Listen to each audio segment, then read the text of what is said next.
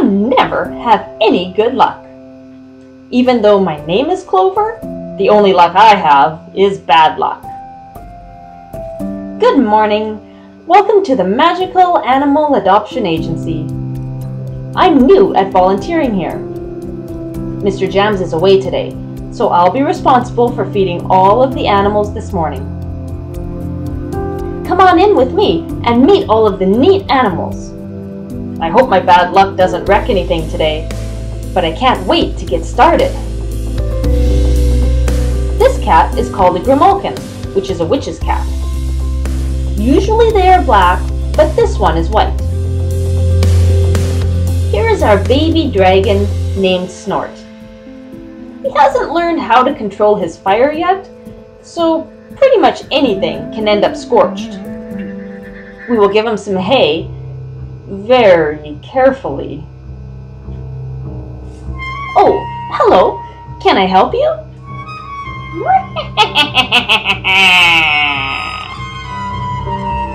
I wonder what she wanted. Just my luck that a witch would show up. At least she's gone now. Anyway, let's continue feeding. We'll give 14 flies to Esmeralda here. She is a color-changing toad. She was abandoned and has a curse on her that couldn't be lifted. Esmeralda would make a great pet for someone who loves color. Out here are our unicorns. Princesses love unicorns. But spoiled princesses tend to get bored quickly, so unicorns come and go quite frequently. At least they're easy to care for.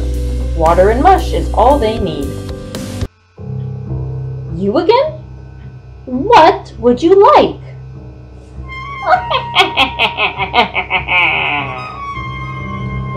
I wonder what she's up to. What could she be up to?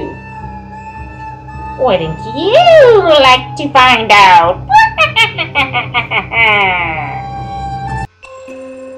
Find out in Clover's Luck, the first book in Kallie George's new series, The Magical Animals Adoption Agency.